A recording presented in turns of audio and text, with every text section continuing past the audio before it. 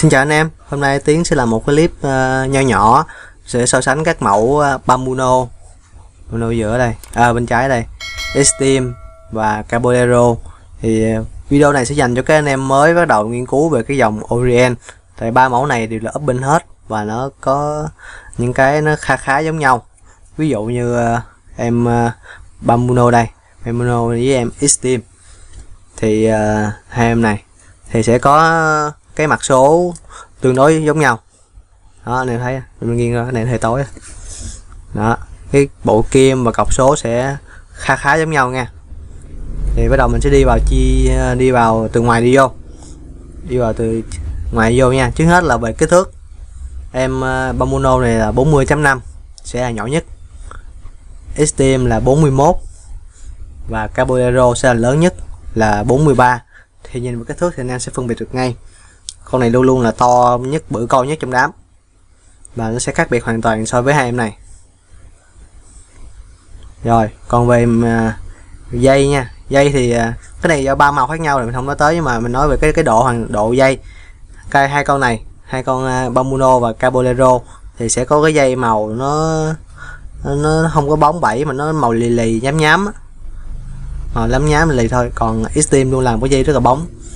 Đó anh mẹ cho anh em coi. Cái dây ngồi nó còn bóng nha. Rồi, mình đi vào tiếp theo tới mặt kiến. Mặt mặt kiến nha. Thì hy vọng là mình để anh em dễ coi. Đó, mặt kiến này thấy nè. Con à, Bamuno sẽ là kiến cao nhất. Thì mình bấm hết những ví dụ đã cho mấy em chạy hết rồi à?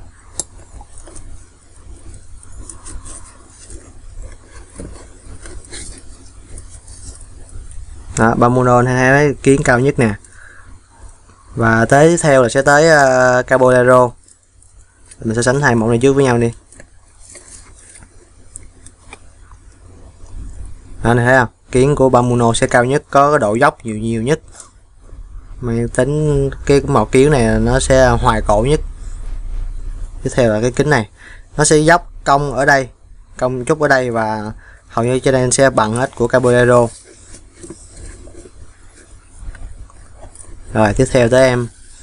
Steam. Steam thì uh, cong theo kiểu những kính bây giờ thôi.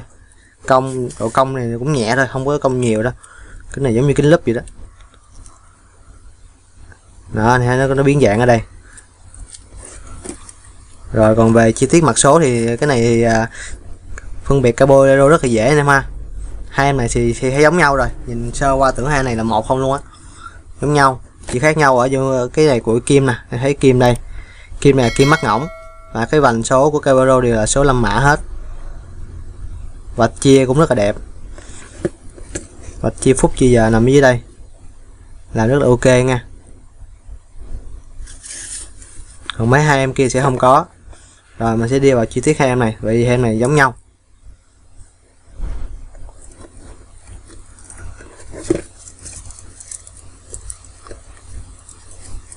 Đó nhìn sơ qua nhìn giống như ờ, một mẫu mà khác khác màu vậy đó.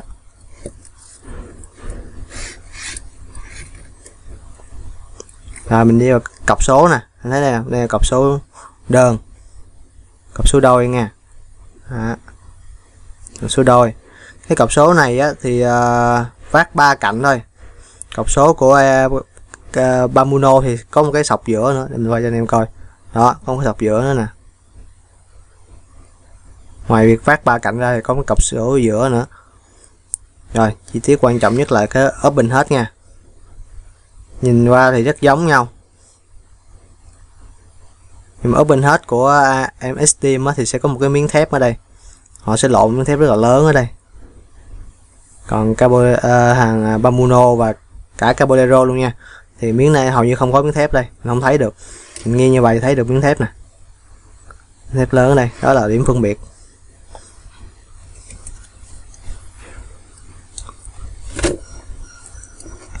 Rồi mình sẽ nắm sau cho anh em coi thử.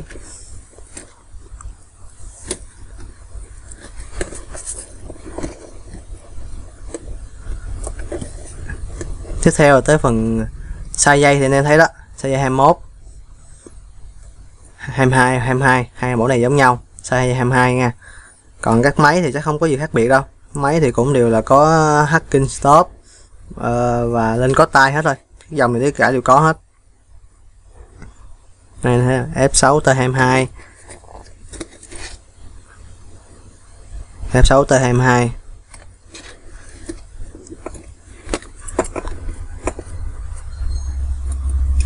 F6 T22 ha. Máy không có khác biệt đâu. Chỉ là cái thiết kế sẽ khác biệt nhau thôi. Và độ chống nước. Độ chống nước trong đây là, em này là 3 ATM hai em này là 5 ATM 53 hết em em coi luôn. Em kia không có ghi gì hết á. Em này thì ghi nè. 53 ở đây. Đây là 53 ở đây.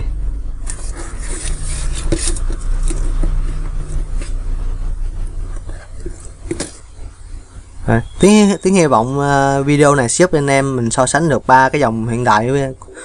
Ba dòng khá khá là nổi tiếng của uh, Orient nha. Là Bambuno, esteem và Caballero.